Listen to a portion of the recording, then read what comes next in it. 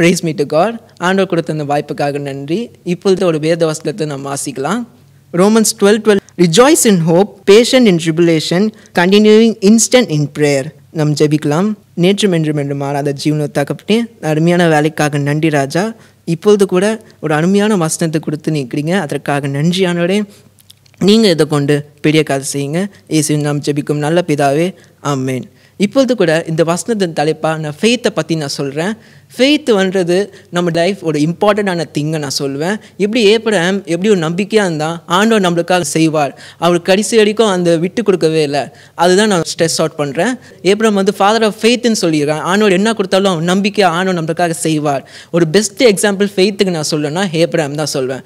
அதை டீகோட் பண்ணுற மாதிரியே நான் மூணு சப் பாயிண்ட்ஸை நான் சொல்கிறேன் முதலாவதாக ஹோப்பை பற்றி நான் சொல்கிறேன் ஹோப்ன்றது நம்ம பார்க்கக்கூடிய விஷயம் தான் ஹோப்புன்னு நம்ம சொல்லுவோம் அதுக்கு ஏற்றதாக ஒரு வசனத்தை வாசிக்கலாம். ஹீப்ரூஸ் லெவன் வர்ஸ் ஒன்னை வாசிக்கலாம். Faith is the substance of thing hope for the evidence and things not seen so hope கூட நம்ம ஃபெய்த் ரொம்ப முக்கியமான பாயிண்ட் தான். ஏன்னா நம்மளுக்கு அந்த ஹோப் வேணும்னா வி ஷுட் ஹேவ் ஃபெய்த் அதுதான் நம்ம யோசித்து பார்க்கணும். அடுத்த ஒரு சம் பாயிண்ட்டாக நான் பேஷன்ஸ்லேருந்து எடுக்கிறேன். நம்ம பேஷன்ஸாக இருக்குது ஒரு முக்கியமான விஷயமாக நான் எடுத்துக்கிறேன்.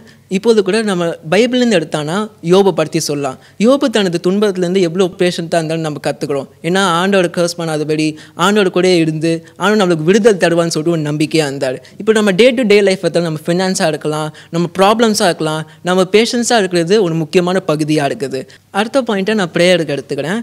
ப்ரேயருக்கு ஒரு பெஸ்ட் எக்ஸாம்பிள் நான் சொல்கிறேன்னா தானியல் கொடுத்து சொல்லலாம். எப்படி தானியல் தனது அனிபத்தடத்துலேருந்து உயர்ற்றப்பட்டாரோ மூன்று வேலை ஜெபிச்சாரோ அது ஒரு குட் எக்ஸாம்பிள் நம்ம ப்ரேயருக்குலாம் எடுத்துக்கலாம். நம்ம சக்ஸஸ்ஃபுல்லாக ஒரு ஃபெய்த்ஃபுல் லைஃப் நம்ம வேணும்னா நம்ம ஹோப் இருக்கணும் பேஷன்ஸ் இருக்கணும் ஒரு ப்ரேயர்ஃபுல் லைஃப் இருக்கணும். இதுதான் நான் சுட்டி காட்டுக்கிறேன் இந்த நேரத்தில்.